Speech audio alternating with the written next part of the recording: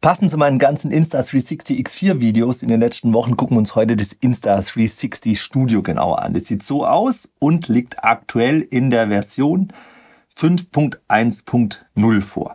Aber bevor wir loslegen, habe ich noch eine Bitte an dich. Du findest unten drunter in der Videobeschreibung einen Link zu meiner aktuellen Follower-Umfrage. Wäre super cool, wenn du die ausfüllen könntest. Das hilft mir nämlich, zielgerichteter Content zu produzieren. Und wenn du noch kein Follower oder Abonnent heißt es ja bei YouTube bist, Macht auch nichts, kannst trotzdem ausfüllen und dann eben auch gleich Kanal abonnieren. Nein, muss nicht. Nee.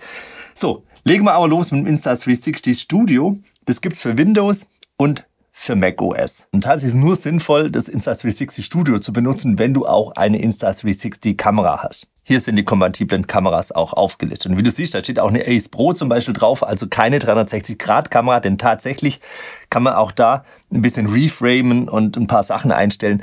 Darauf gehe ich aber heute nicht ein. Ich gehe nur auf 360-Grad-Video ein, denn wenn du weißt, wie 360-Grad-Video geht, und das ist eigentlich auch das Hauptding, wieso man das Studio nutzt, dann kannst du auch die nicht 360-Grad-Videos bearbeiten und auch Fotos. Also nur 360-Grad-Video heute. Ich würde auch sagen, wir machen gar nicht lang rum, sondern gucken uns die Sache direkt an. Also wie gesagt, so sieht das Studio aus. Oben Menü, was man eigentlich kaum braucht, weil man alles auch irgendwie anders machen kann. Hier kommen die Dateien rein, dann kann man hier zwischen Medien und Projekt wählen. Zeigt dir alles gleich. Was vielleicht noch wichtig sein könnte, sind hier Einstellungen, wobei ich habe da nie was geändert, wollte es dir nur gezeigt haben. Falls es irgendwie Probleme gibt, kannst du hier die Hardwarebeschleunigung zur Zeug eben ausstellen. Oder hier, nee, hier kann man Pfade einstellen. Also nur, dass du weißt, man kann tatsächlich auch ein bisschen was einstellen.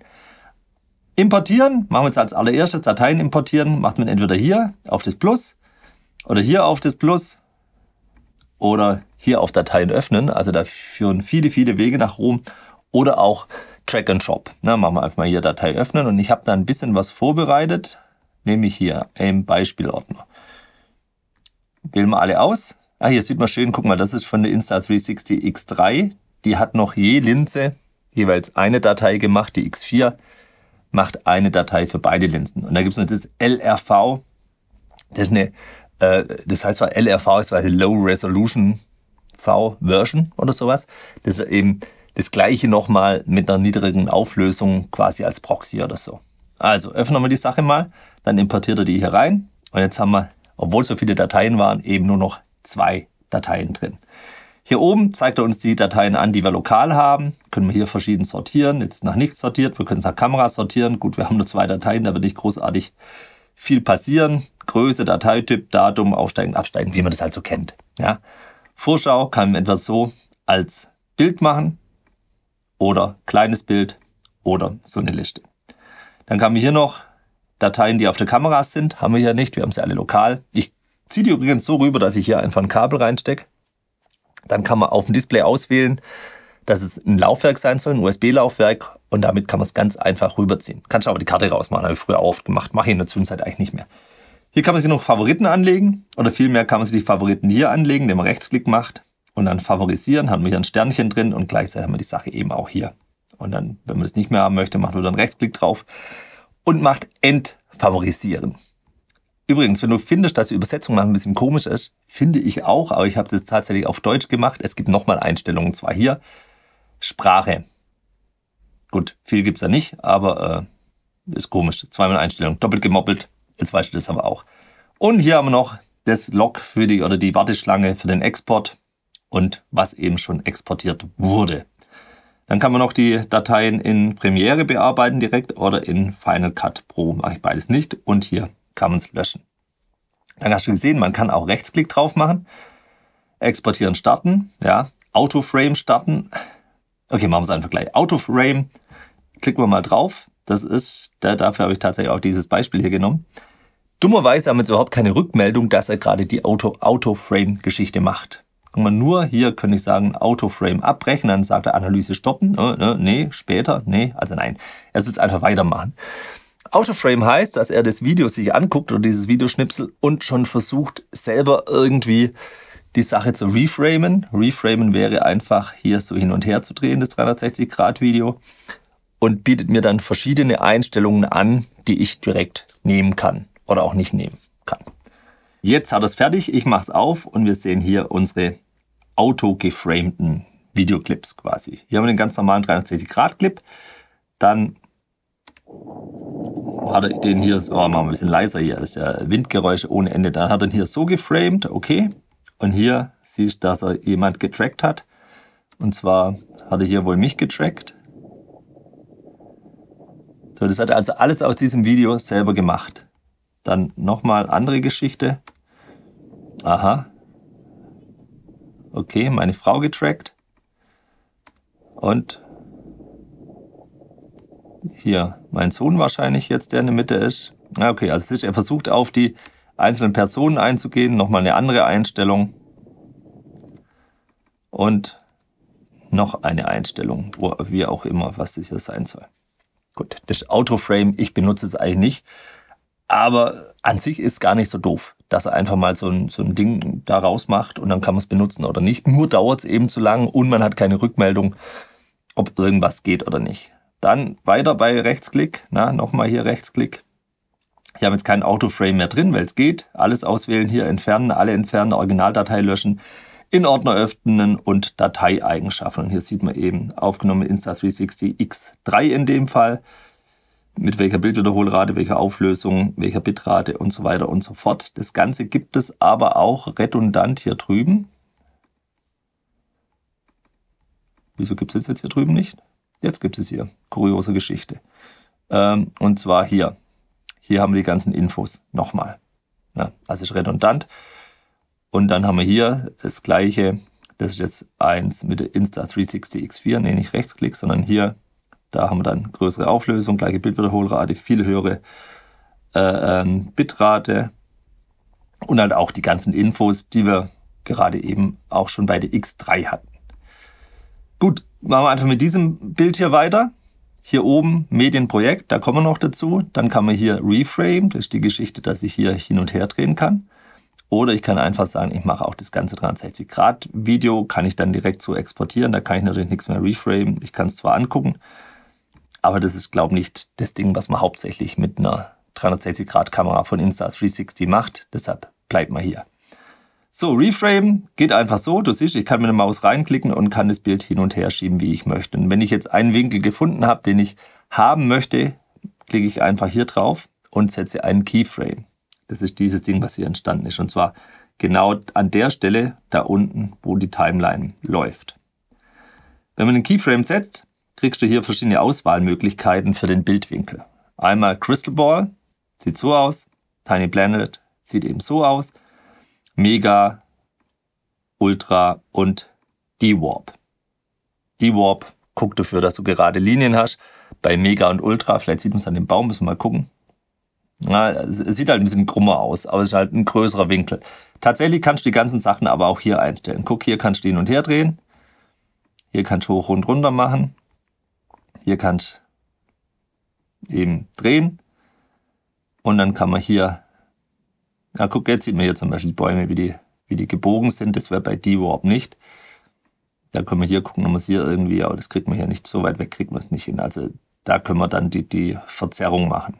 Gleiches eben, wenn du hier guckst, ändert sich die Einstellung hier. Jetzt haben wir hier zum Beispiel 0, jetzt haben wir hier 0,95, hier auch, da einen anderen Winkel, hier haben wir 1 und so weiter und so fort. Also sind quasi da oben sind alles nur Voreinstellungen von dem, was man da unten einstellen kann. Tatsächlich habe ich oft Tiny Planet als Ausgangspunkt, nutze den aber gar nicht.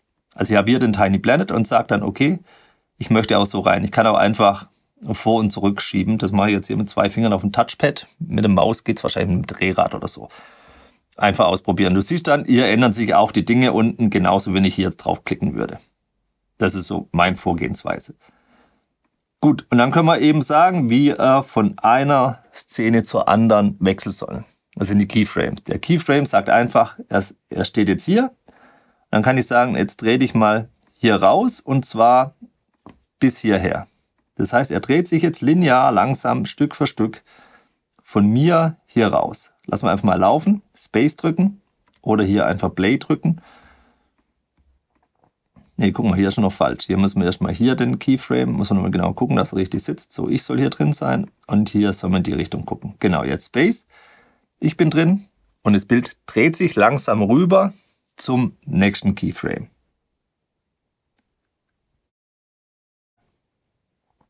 So, da sind wir jetzt und jetzt haben wir keinen Keyframe, jetzt steht er in die Richtung oder bleibt da, wo die Kamera eben eingestellt ist. Und jetzt könnte ich sagen, okay, jetzt sind wir hier, aber wir wollen jetzt direkt wieder zurückdrehen. Deshalb mache ich jetzt einfach direkt einen Keyframe dahinter und gehe zurück und kann dann sagen, ich möchte auch ein Tiny Planet. Dann kommt er hierher gedreht und macht fupp, ganz schnell zu dem Tiny Planet und da kann ich dann auch noch sagen, drehe mich dann so hin, mache ich wieder einen, so eine fupp, Tiny Planet und drehe den ein bisschen. Ja, genauso wie ich dann auch sagen kann, okay, ich will jetzt wieder näher ran. Das springt jetzt natürlich ganz schnell, aber ist nur ein Beispiel, was man so machen kann mit diesem. So, guck, jetzt geht er näher ran. Was man eben mit diesen Keyframes machen kann.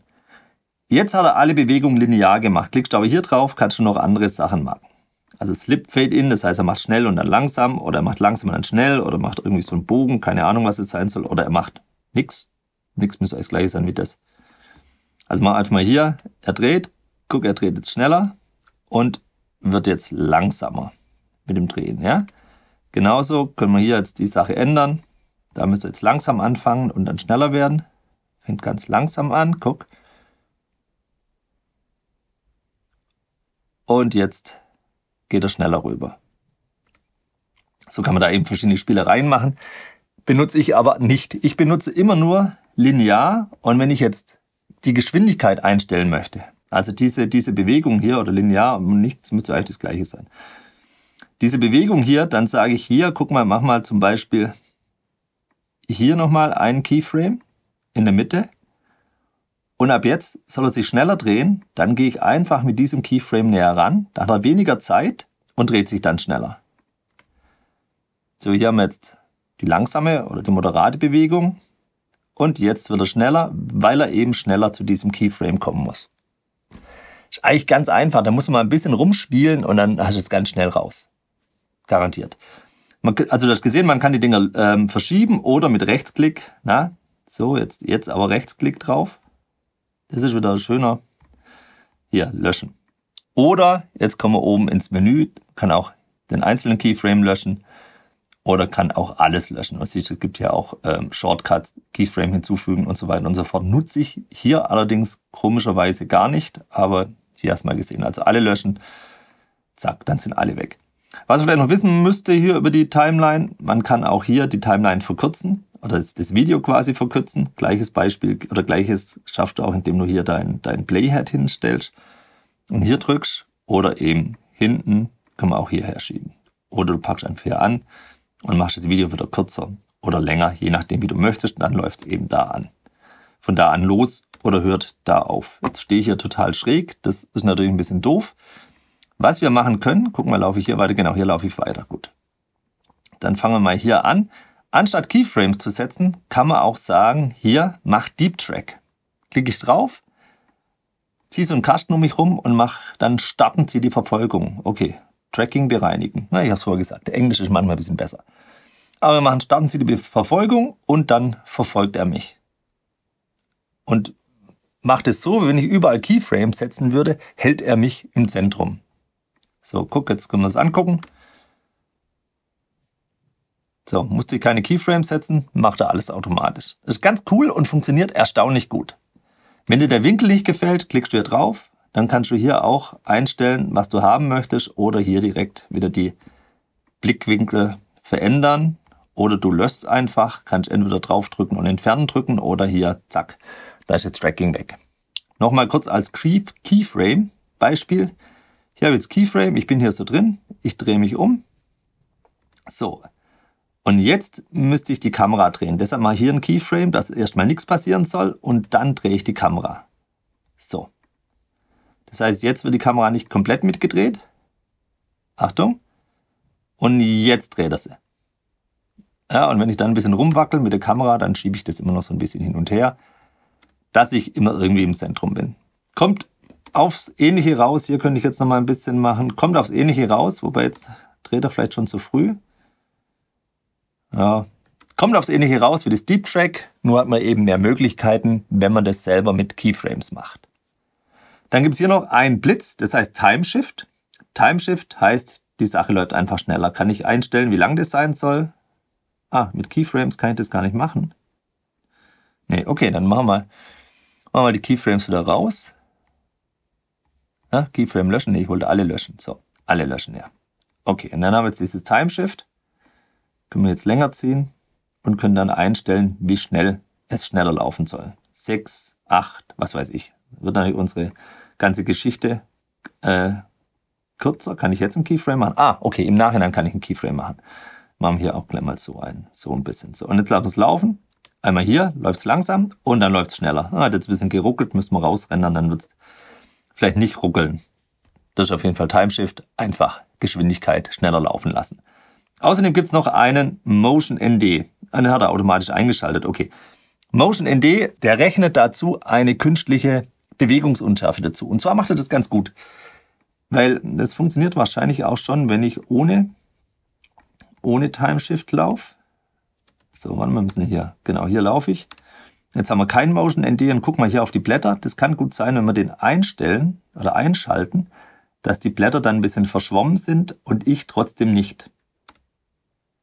Ja, doch, sind sie. Hast du es gesehen? Na, nochmal hier. Das ist jetzt Motion ND an. Hier sieht man es ganz gut.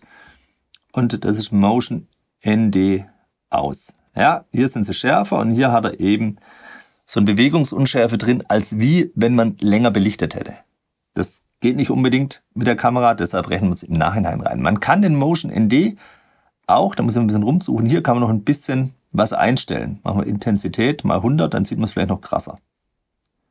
Genau, jetzt soll man es richtig gut sehen.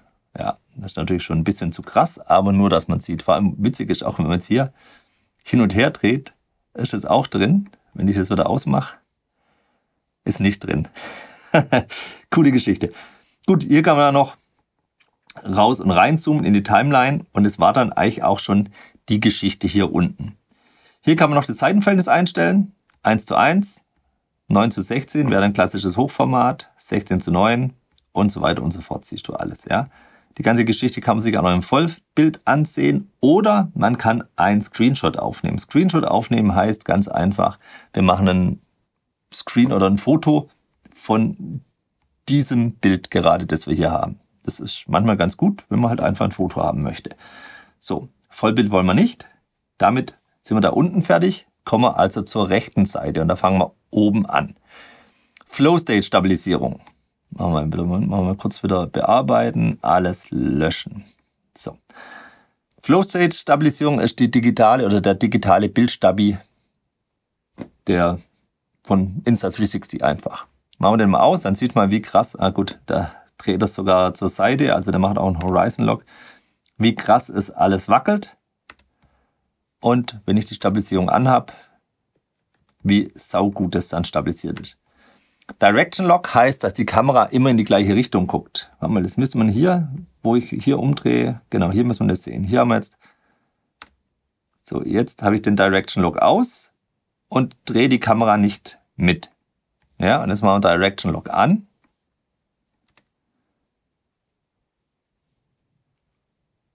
Und ich bin jetzt weiterhin in der Mitte, weil die Kamera eben immer in die gleiche Richtung guckt. Kann man auch mit Keyframes machen. Hier macht die Sache automatisch. Ich mache es immer mit Keyframes. Mehr kann man hier oben nicht einstellen. Kommen wir zum Puzzle. Je nach Insta360 Kamera gibt es hier verschiedene Einstellmöglichkeiten.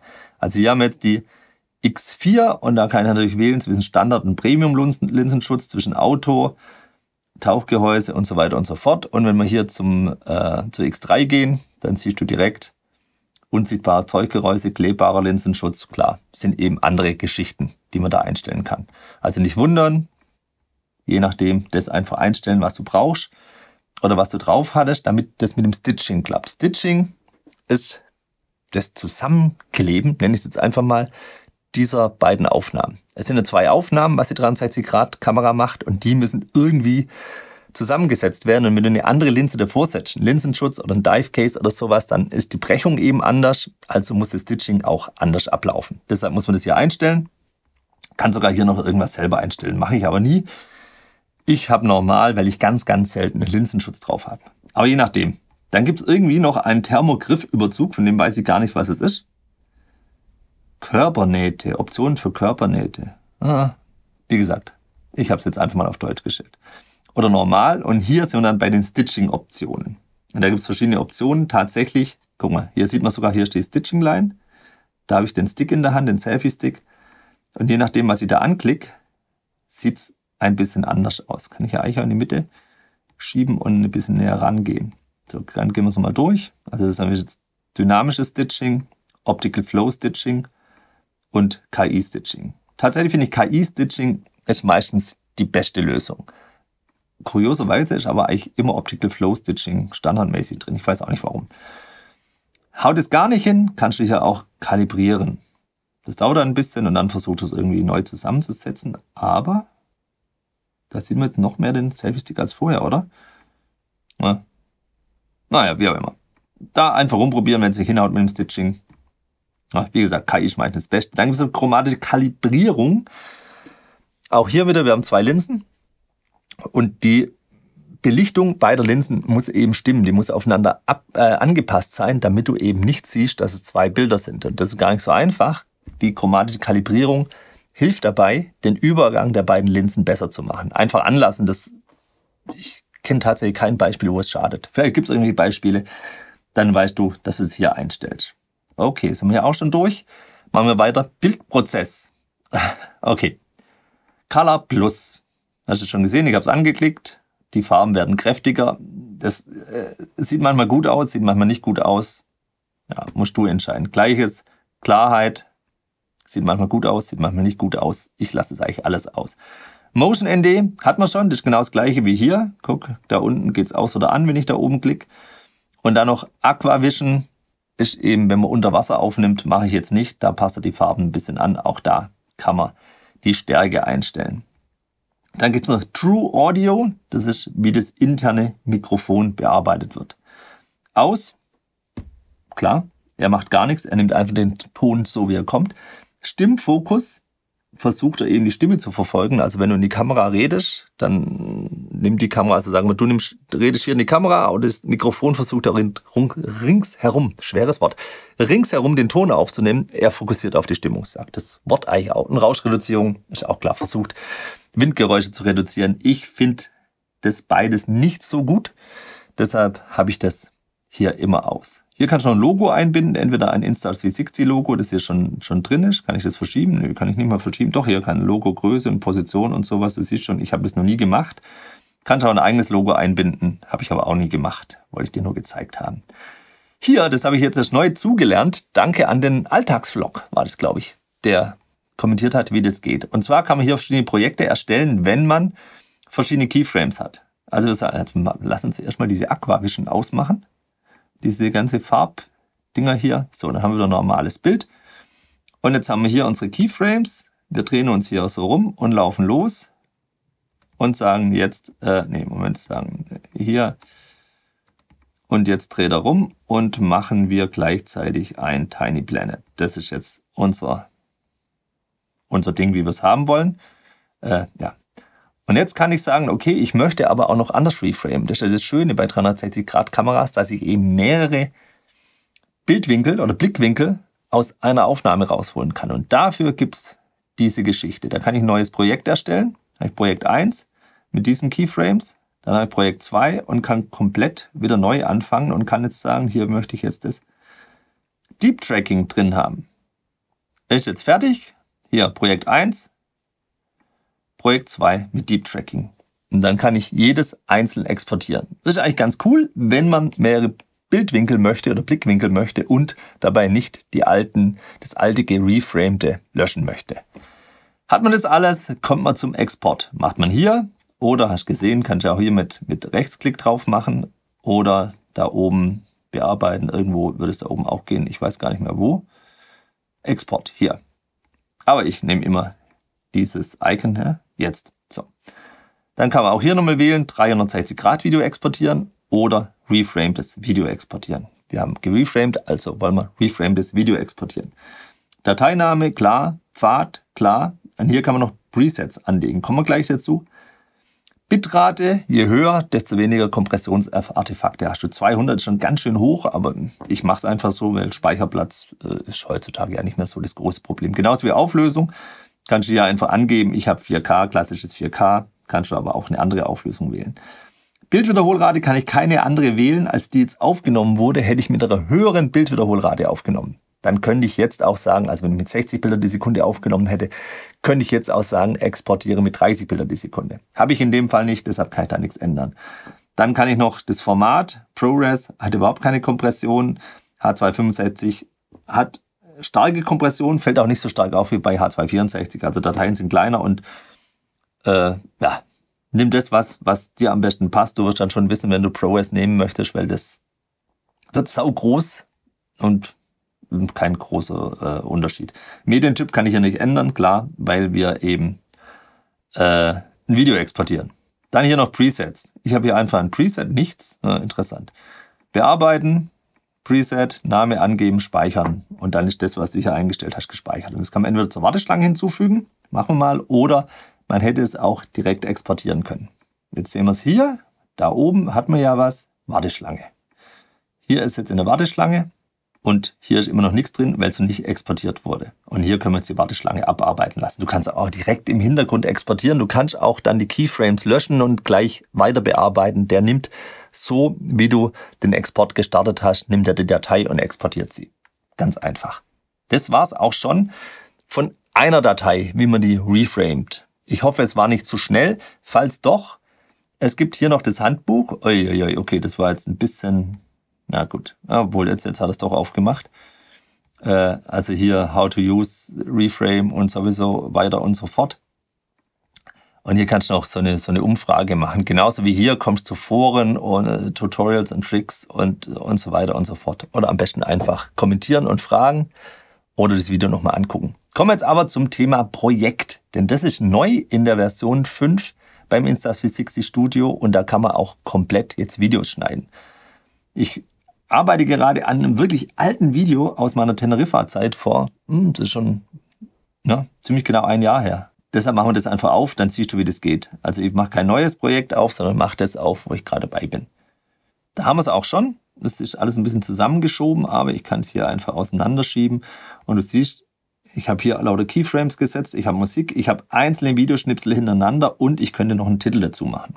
Also es ist ein kleiner, einfacher Videoeditor, der den ganz, ganz, ganz großen Vorteil hat, dass ich hier direkt reframen kann. Du siehst, ich habe hier einen Keyframe in die Richtung, vorher habe ich nur in die Richtung geguckt. Genauso wie hier und hier. Und da ist eben genau das gleiche hier auf dieser Seite, was ich vorhin auch einstellen konnte bei den Keyframes.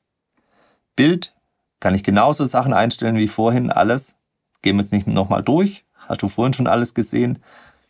Und Audio kann ich auch ein bisschen was einstellen. Fade in, Fade aus, dann Rauschen, Stimmfokus, genau das gleiche wie vorhin. Lautstärke kann man aber auch hier machen, einfach so hoch und runter. Und hier, guck, hier kann man Fade in, hier hin und her schieben. Und Fade out kann man hier hin und her schieben. Und dann hat man da einfach seine einzelnen Videoclips. Ist noch nicht fertig. Und jetzt kommt der nächste Videoclip. Gehen wir zum Ende. Dann zeige ich noch, wie man Videoclips hinzufügt und was die anderen Geschichten sind. Oh, Komme ich hier irgendwie, gibt es einen Shortcut? Weiß ich nicht. Achso, Shortcuts, guck mal hier. Shortcuts gibt es jede Menge. Hier. Auswendig lernen, dann kann man schneller damit arbeiten. Aber ich habe da immer so meine, meine liebe Not damit mit dem Auswendiglernen. Wir können aber einfach hier ein bisschen ähm, zusammen machen. So. Hier haben wir ja diese Videos von vorhin. Da steht auch temporäre Medien. Projektmedien sind die ganzen Projektmedien und globale Medien habe ich nicht. Du kannst übrigens auch alles Mögliche hier reinziehen. Also es muss jetzt kein Insta360 Video sein, du kannst Video oder du hast gesehen, Musik, irgendwas anderes reinziehen. Muss jetzt nicht so sein. Aber jetzt nehmen wir einfach mal das Ding und ziehen sie hinten ran und dann ist schon da und es läuft hier weiter. Und wie gesagt, man kann das dann auch reframen, indem man hier draufklickt. So, dann habe ich hier jetzt meinen Keyframe und das gleiche machen wir hier jetzt nochmal einen Keyframe und sagen, ich möchte einfach weiter weg. Und hier können wir so es hier anfangen lassen. Und dann können wir genauso arbeiten wie vorhin. So, jetzt ist der Ton zu laut, also machen wir ihn einfach leiser. Nur, dass wir eben mehrere Dateien haben. Wir können auch schneiden. Gibt's hier, ein, hier können wir schneiden. Oder, jetzt machen wir Command Z. Wenn wir hier schneiden, ist hinten gleich weg. Und wenn wir hier schneiden, ist vorne gleich weg. Ja, auch dafür gibt es Shortcuts. Können schneller machen, schnell, langsam, genauso wie vorher, nur dass er halt hier ein bisschen mehr auch Geschwindigkeitseditor an. Aha, okay. Benutzerdefinierte Geschwindigkeit einmal schnell im Prinzip das gleiche wie Timeshift vorhin. Wir können auch Deep Track machen. Also du kannst genau das gleiche machen wie vorher, nur dass du mehrere Videoschnipsel aneinander schieben kannst. Und zum Aneinanderschieben gibt es hier verschiedene Einstellungen noch. Zum einen Haupttrack Magnet. Mache das aus, kann ich das so hin und her schieben und ich muss das hier, passiert überhaupt nichts. Ja? Mach den Magnet an, zack, wurde es magnetisch rangezogen. Hast gesehen? Magnet nochmal aus, schiebe ich ein bisschen weg, Magnet an, guck genau hier hin, zack, wieder rangezogen. Ja? Hier andere Sache, automatischer Schnappschuss. Das ist das. Diese deutsche Übersetzung ist halt auch, dass er hier, äh, guck mal, wir machen jetzt mal Magnet aus und machen alles aus, dann wird's richtig schwer. Das, guck mal, dann sagt er, überschneiden sich. Dann kriege ich das nicht so richtig hier hingesetzt. Jetzt habe ich es hingesetzt gekriegt. Wenn ich das anmache, dann äh, weiß er genau, ich möchte es hier ransetzen, auch wenn ich ein bisschen drüber war. Ja, guck mal, wenn ich es aus habe, hier drüber, dann geht's einfach nicht. Hier schiebe ich es ran und äh, jetzt war es so. Nee, jetzt macht es nicht mehr. Na, jetzt hat es aber. Na, du weißt, was ich meine. Dann haben wir hier noch, also beide Sachen anlassen. Diese Sache, das ist, ist Geschmackssache. Ich habe es aus. Wenn ich jetzt hier, wenn ich es anhabe, siehst du, kann ich hier mit meinem, meinem Playhead hin und her fahren und er zeigt mir genau das Bild an. Wenn ich das ausmache, fahre hier hin und her, passiert nichts. Da muss ich immer reinklicken und dann bin ich genau an dieser Stelle, wo ich arbeiten kann. Man kann auch Musik hinzufügen. Gibt schon fertige Musik, jede Menge hier mit drin im Insta360 Studio, Race, Christmas, Fantasy, Amusement, wie auch immer, ja. Äh, ja, wie auch immer. Ich habe Epidemic Sound und lade da die Sachen runter. Kann jetzt aber auch hier, können wir das runterladen. Das ist jetzt Old Joy, können es anhören. Genau, und dann nehmen wir es auch einfach und ziehen das hier unten in die Musik rein. Ja, genauso wie Text gibt es verschiedene Titel, die man hinzufügen kann. wir sind hier am Berg, am Climbing. Achso, müssen wir erst runterladen, okay. Und dann können wir jetzt hier draufziehen und können hier verschiedene Sachen hinmachen. Bla bla, hallo. Und dann kommt der Titel. Oder auch nicht. Na, jetzt. Da haben wir den Titel. Musst du angucken. Gibt jede Menge Sachen einfach, um da einzublenden oder auch nicht. Was man nicht machen kann, man kann jetzt nicht mehrere Spuren übereinander machen. Du hast nur einmal Titel, einmal Video, einmal Ton. Mehr geht nicht. Wenn du mehr machen möchtest, musst du auf einen anderen Editor ausweichen. Was du auch noch machen kannst, ist Übergänge. Gucken wir, jetzt sind wir genau hierher am Übergang. Hier gibt es verschiedene Übergänge. Auch da gibt es jede Menge. Richtig cool, wenn wir jetzt mit 360 Grad Video arbeiten, sind 360 Grad Übergänge dass ich hier so zack sitze, ja, im Auto und dann machen wir einfach mal einen Tiny Planet Übergang. Oh, der ist jetzt aber arg groß, aber gut. Zack. Sowas zum Beispiel. Er kann eben das ganze Bild irgendwie hin und her drehen, weil er ein 360 Grad Video hat. Das ist schon cool. Auch einfach mal ausprobieren, was es da alles gibt. Allerdings, ja. Allerdings, ja, ich finde es manchmal doch ein bisschen too much. Also ich liebe einfach solche, solche harte Schnitte. Das ist einfach das Einfachste meiner Meinung nach. Gut, bist du fertig mit deinem Projekt? Auch hier exportieren. Im Prinzip genau das gleiche wie vorhin auch. Name, ähm, Pfad, Voreinstellungen habe ich hier noch keine. Dann kannst du hier die, Aus, äh, die Auflösung sogar so wählen. Bitrate, Rahmen ist wahrscheinlich eher die Bildwiederholrate, genauso wie hier das Format, Körnung entfernen. Ach, per KI kann man noch Rauschen entfernen. Okay. Das war's. Und wie schon in anderen Videos gesagt, ich benutze tatsächlich hauptsächlich das Studio, um meine Clips zu reframen. Und jetzt habe ich ganz frisch angefangen, das mache ich hier das erste Mal, dass ich auch äh, so ein ganzes Projekt mache. Und der Vorteil davon ist, kommen wir hier ganz nach vorne, der Vorteil davon ist, dass man eben auf die Musik zum Beispiel, ähm, ja, so, dass ich Bewegungen auf die Musik machen kann. Also, normalerweise hätte ich den Schnitt gemacht, aber ich kann jetzt auch einfach sagen, ich mache keinen Schnitt, sondern ich schwenke die Kamera. Deshalb mache ich das hier und das ist eigentlich echt gut und echt einfach, was tatsächlich den Workflow bei mir beschleunigt, anstatt alles einzeln zu machen und es dann in Final Cut zusammenzuschneiden. Ich werde sicher noch, sicherlich noch Final Cut brauchen, aber so, ich finde es echt gut. Wenn du noch Fragen hast zum Insta360 Studio oder generell zu irgendwas von Insta360, einfach unten drunter kommentieren. Außerdem interessiert mich natürlich, ob du lieber das Studio benutzt oder die App. Müsste ich einmal ein Tutorial dazu machen, aber ich benutze die App halt nicht, weil ich das Studio einfach besser finde. Es gibt außerdem eine ganze Insta360 Playliste von mir. Die gibt's hier. Hier kannst du meinen Kanal abonnieren, denn es gibt sicherlich noch mehr zu Insta360 in Zukunft. Hier gibt's mein letztes Video.